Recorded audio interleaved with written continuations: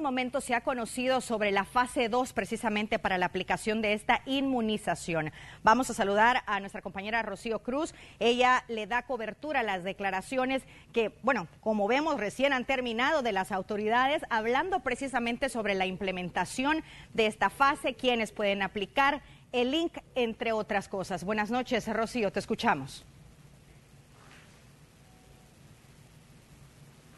Hola, muy buenas noches compañera. Como siempre es un gusto poder saludarte. Efectivamente, como tú ya lo adelantabas hace algunos eh, minutos, acaba de finalizar la conferencia de prensa que ofrecía el ministro de Salud Francisco Alaví para dar mayores datos sobre cómo avanza el proceso de vacunación en el país. Quiero comentarles que él mencionaba que en, alguno, en algunas horas eh, ingresará al país un nuevo lote de vacunas de COVID-19. Esta vez se trata de 150 mil dosis las que van a ingresar y que son parte de una donación que está haciendo el gobierno de China. Estas vacunas pues servirán para continuar con el proceso de vacunación en nuestro país. Otro dato que es importante mencionar es que el día de mañana se iniciará con la vacunación de las personas eh, mayores de edad, mayores de 50 años y también con aquellas que padecen enfermedades crónicas, pero principalmente se va a enfocar esta vacunación en aquellas que ya tienen más de 80 años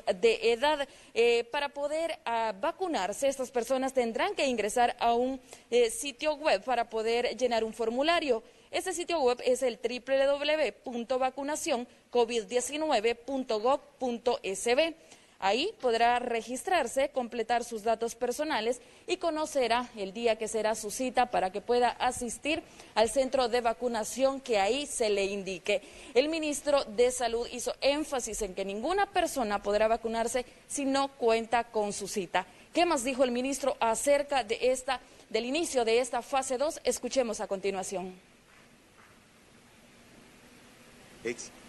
Tres modalidades en las que progresivamente también, dependiendo de la demanda, vamos a ir anunciando a la población para que pueda acceder a agendar su cita y yo sé que algunos preguntarán, ¿qué sucede si yo no tengo acceso a, Internet? ¿Qué sucede si yo no puedo utilizar la página web? Existe un despliegue a nivel de todo el territorio de los promotores de la salud, en la cual eh, los promotores de salud van a desplazarse a todas las unidades de salud para que la población que no pueda tener acceso eh, de manera digital pueda acercarse a la unidad de salud y de esta manera en la unidad de salud pueda recibir o pueda agendar su cita y esta cita ya es entregada en, un documento por parte del personal del, del primer nivel de atención donde se le va a ubicar la fecha, la hora y el día en el cual se va a colocar su vacuna. También otro grupo del primer nivel de atención, específicamente de, de, los promotores de salud, va a andar en una búsqueda activa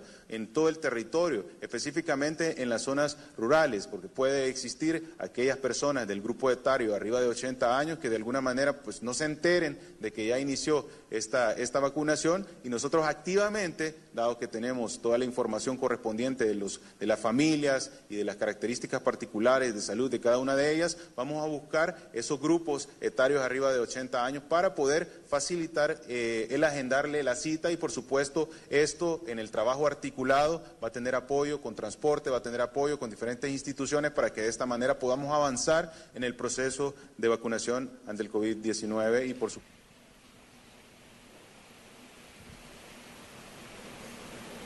Quiero aclarar, compañeros y queridos televidentes, que la fase 2 incluye a las personas mayores de 50 años y aquellas que padecen enfermedades crónicas, pero el día de mañana se iniciará específicamente con aquellas que tengan eh, más de 80 años de edad. Otros datos que brindó el ministro de Salud durante esta conferencia de prensa es que ya han vacunado a más del 90% del personal sanitario que enfrenta esta pandemia de COVID-19 y que más del 80% de aquel personal no sanitario también ya ha recibido su primera dosis de la vacuna contra el coronavirus. Eh, también mencionaba que el día jueves, viernes y sábado se va a vacunar a los docentes de las universidades, quienes también pues necesitan esta primera dosis de vacuna para poder iniciar ya con las clases que iniciaron este día en diferentes centros educativos. Esta es parte de la información que se ha generado sobre el proceso de la vacunación en nuestro país.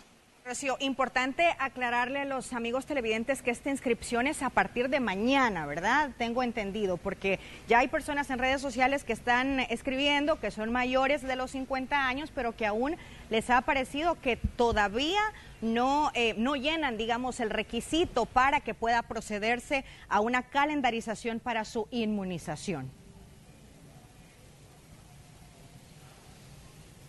Sí, correcto, Roxana. Como lo mencionaba, eh, la fase 2 incluye a las personas mayores de 50 años pero específicamente mañana se va a iniciar con aquellas que tengan más de 80 años de edad y enfermedades crónicas. El ministro durante esta conferencia de prensa hizo énfasis en que aquellas que no les corresponde la vacunación no intenten llenar el formulario porque el sistema no se los va a permitir y también van a poder eh, causar problemas a las otras personas que sí puedan ingresar y que sí se puedan vacunar. Otro punto también importante que tú mencionabas es la llegada de estas 150 mil dosis donadas por China para esta noche, ¿no? Sí, el ministro de Salud mencionaba que en, las próximas horas llegará al país un lote de 150 mil vacunas que será de la farmacéutica eh, Sinovac, eh, que, de las cuales ya llegaron al país hace algunos días un millón de dosis. Esas fueron compradas con fondos públicos, pero esta se trata de una donación que está dando el gobierno de China. Muy bien, Rocío, vamos a estar pendientes eh, de más declaraciones de las autoridades. Muchas gracias por tu reporte. Decirles a los amigos televidentes, la página web es vacunacioncovid19.gov.sb, vacunacioncovid19.gov.sb y lo más importante, como tú ya bien lo mencionabas, la prioridad ahorita es mayores de 80 años y a partir de mañana para que lo puedan hacer. Gracias, Rocío. Muchas buenas noches para todos. Muy bien, ahí teníamos entonces a Rocío compartiendo con nosotros lo que se ha conocido hace unos instantes sobre la fase 2 de la vacunación, de este plan de vacunación, que por cierto, decirles que este se ha implementado en el país, ya avanzó esta fase de inmunización a los adultos mayores y personas con enfermedades crónicas, quienes recibirán su primera dosis a partir de mañana.